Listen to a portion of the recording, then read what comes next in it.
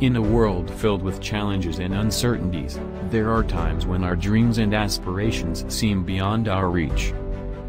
But as Nelson Mandela once said it always seems impossible until it's done. Throughout history, countless individuals have defied the odds, shattered barriers, and accomplished what others believed to be impossible.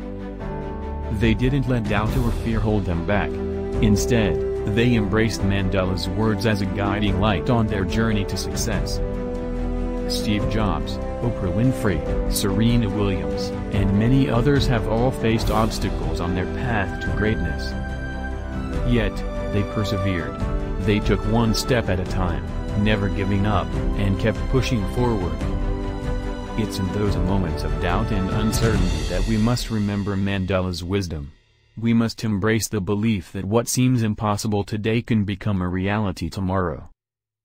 Nelson Mandela himself faced tremendous adversity, spending years in prison, fighting for justice and equality. But he emerged as a symbol of hope, proving that change is possible. So, let his words ignite the fire within you. Let them remind you that no dream is too big and no goal is out of reach. Remember, it always seems impossible until it's done. Believe in yourself, push through the challenges, and embrace the journey. Because when you persevere, the impossible becomes possible.